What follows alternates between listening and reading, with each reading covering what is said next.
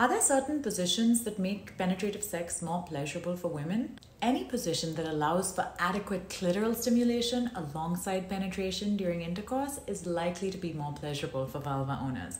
So, for example, the cowgirl or woman on top position can be especially pleasurable for vulva owners because it allows them to have more control over their movements. You can ensure that there is sufficient rubbing against the clitoris by positioning it against your partner's lower belly during penetration. Even the traditional missionary position can easily be adapted to become more pleasurable by simply adopting a grinding up and down motion instead of a thrusting in and out motion. This too would allow for adequate clitoral stimulation during penetration.